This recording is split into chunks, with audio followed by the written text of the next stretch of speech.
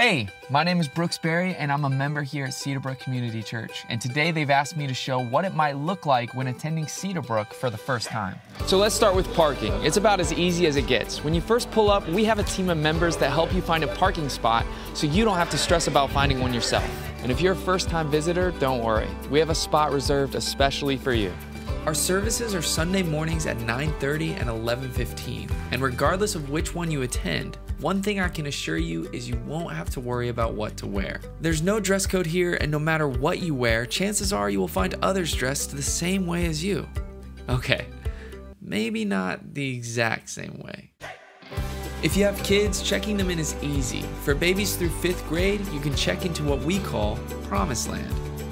Now for middle school and high school, you'll head over here behind me, which is what we call the Refuge. It's our student center. And for the middle schoolers, they meet at 11:15 on Sunday mornings. High schoolers meet in the same spot Sunday nights.